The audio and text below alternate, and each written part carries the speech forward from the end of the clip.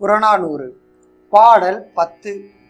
ஊன் பொதி பசுங்குடையார் சோழன் நெய்த்தலங்கானல் இரு இளஞ்சேட் சென்னியை பாடியது மலைமார்ப ஏத்து கம்பளவே.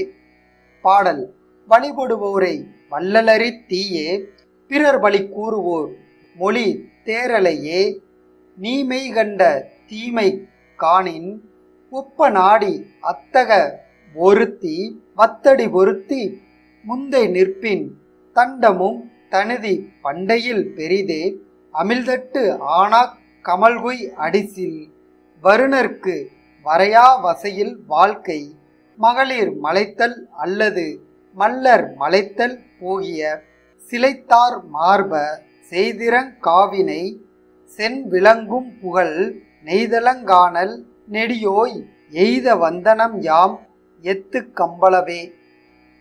திணை பாடான் திணை துறை இயன்மொழி பூவை நிலையும் ஆம்.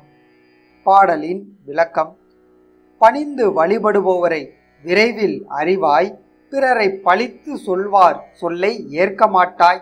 நீயே குற்றத்தை மெய்யாக கண்டால் ஆராய்ந்து அக்குற்றத்துக்குரிய தண்டனை தருவாய். உன் அடிதாழ்ந்து பணிந்து நின்றால் முன்னையிலும் அருள் உடையவனாய். தந்த தண்டனையையும் குறைப்பாய்.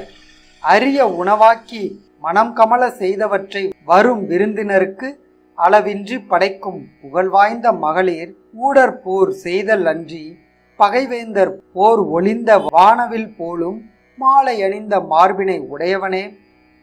தவறாக செய்துவிட்டு பின்னர் வருந்துதல் இல்லாத நெடும் புகழ் வாய்ந்த சேட் சென்னியே உன்னை அடுத்து வந்தோம் வாழ்த்துகின்றோம்.